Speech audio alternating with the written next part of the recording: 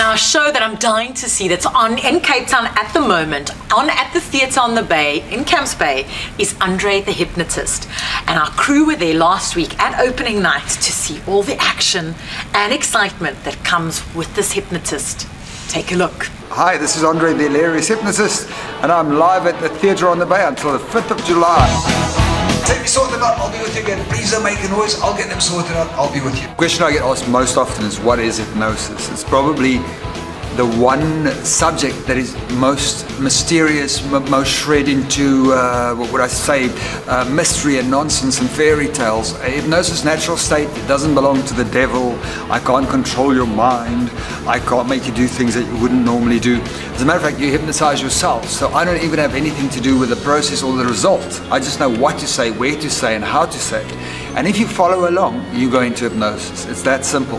The problem is people have these perceived notions, people getting stuck in hypnosis, people uh, acting like zombies for the rest of their lives.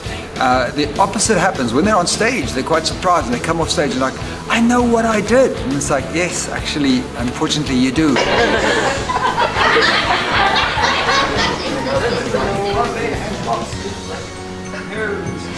G, just relax and sleep. Go deep. Very deep and sound asleep.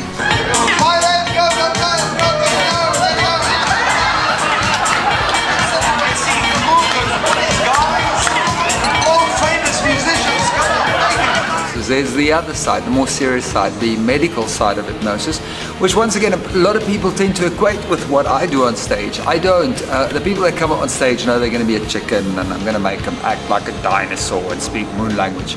Whereas in a therapy situation, the idea is to get a result. So you use hypnosis as part of the therapy. So if you're suffering from depression, for instance, you would use hypnosis in combination with antidepressant drugs, etc., in order to get a cure.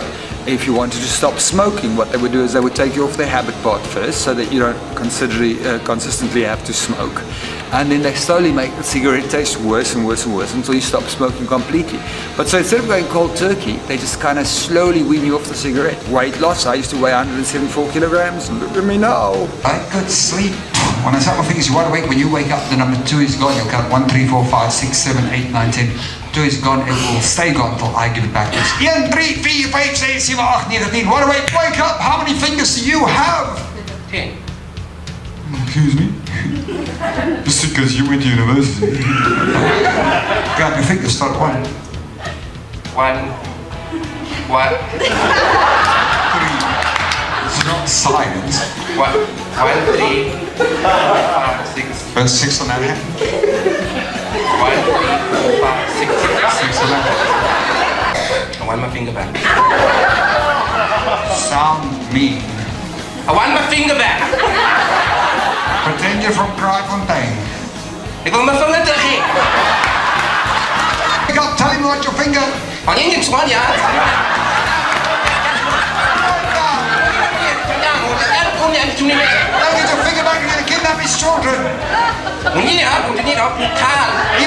All right, for those of you interested in getting a hold of me, maybe you'd like me at your wedding, cheap divorce. Um, maybe you'd like me at your corporate function. Uh, you can just visit www.andreonline.co.za. So it's very easy, andreonline.co.za, or you can just Facebook, Twitter, WhatsApp,